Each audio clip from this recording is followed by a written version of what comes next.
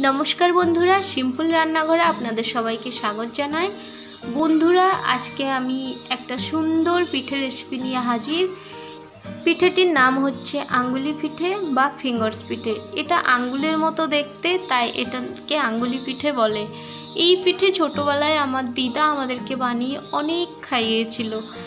আজ আমি আপনাদের সাথে শেয়ার করব দিদার কাছ থেকে শেখা এই আঙ্গুলি পিঠে রেসিপি ফিঙ্গার পিঠা বা আঙুলি পিঠা বানানোর জন্য আমি এরকম বাটি, দু বাটি আতক চাল নিয়ে নিচ্ছি। আপনারা চাইলে কাপ বা গ্লাসে মেজারমেন্ট করতে পারেন। দেখুন, এটা আতক চাল। এই পিঠাটা আতক চালেই হবে। এবার চালগুলোকে খুব ভালো করে ধুয়ে দু থেকে তিনবার আমি ধুয়ে নিচ্ছি। ভালো করে পরিষ্কার করে ধুয়ে নিতে হবে। চালগুলো ধোয়ার পরে আমি আরও কিছু জল দিয়ে চালগুলোকে দশ থেকে পনেরো মিনিট ধরে ভিজিয়ে রাখব।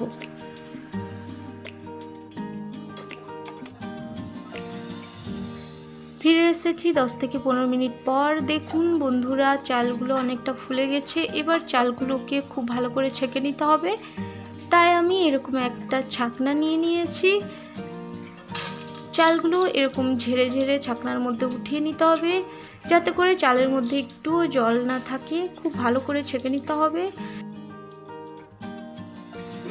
এভাবে চালগুলো সব দু তিন মিনিট ধরে এভাবে ঝুড়িতে রেখে দিলে সব জলগুলো ঝরে যাবে।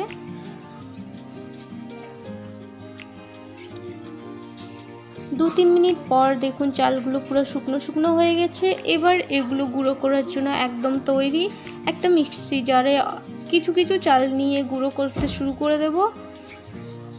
একবারে সব চাল গুঁড়ো করা যাবে না, তাই অল্প অল্প করে চাল নিয়ে গুঁড়ো করতে হবে।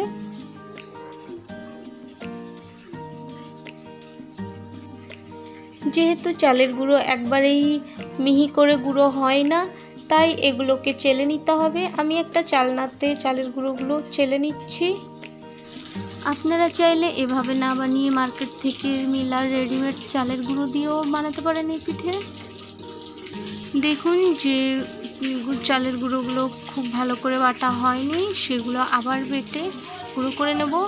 আমি এভাবে সব চালের গুঁড়ো বানিয়ে নিয়েছি, আর নিয়েছি দুটো নারকেল কুড়িয়ে এভাবে নিয়ে নিয়েছি, আর তিনশো গ্রাম চিনি নিয়ে নিয়েছি, আর নিয়েছি কিছু ছোট এলাচ।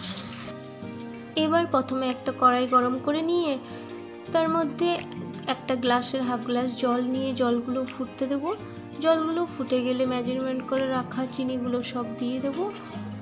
চিনিগুলো এভাবে যখন যতক্ষণ না মেল্ট হয়ে যাচ্ছে ততক্ষণ রান্না হতে দেব। দেখুন চিনিগুলো এভাবে শিরার মতো হয়ে গেলে এবার যে রাখা নারকেলগুলো সব দিয়ে দেব।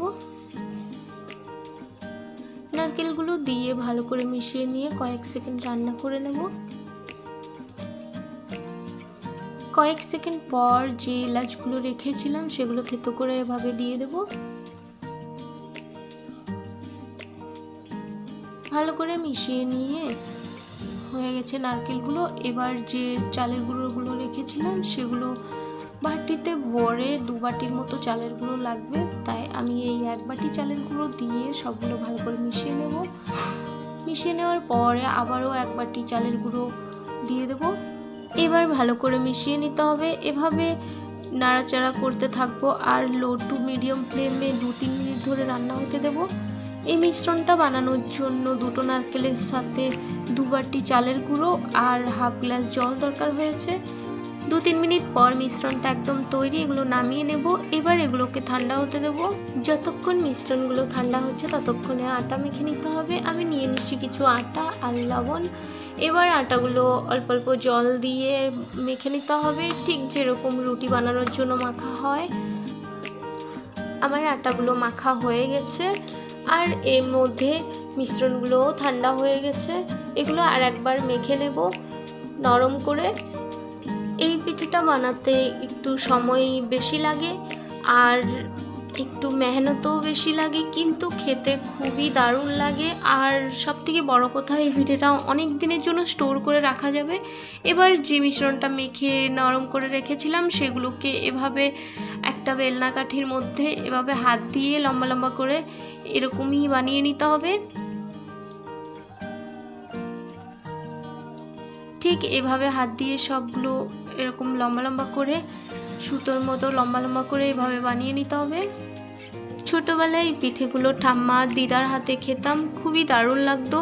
আজকে এই পিঠে আমার মার সাহায্যে বানাচ্ছি, কারণ আমার দ্বারা একা হবে না। এই পিঠেগুলোতে খুবই সময় লাগে। এবার মেখে রাখা আটার থেকে অল্প আটা নিয়ে একটা রুটি বানিয়ে নিতে হবে। ঠিক রুটি যেভাবে পাতলা করে বেলে নিতে হয়, সেভাবে পাতলা করে বেলে নিতে হবে। এবার যে সুতোর মতো লম্বা লম্বা করে মিশ্রণগুলো বানিয়ে নেওয়া হয়েছিল, সেগুলোকে এভাবে সাজিয়ে দিতে হবে।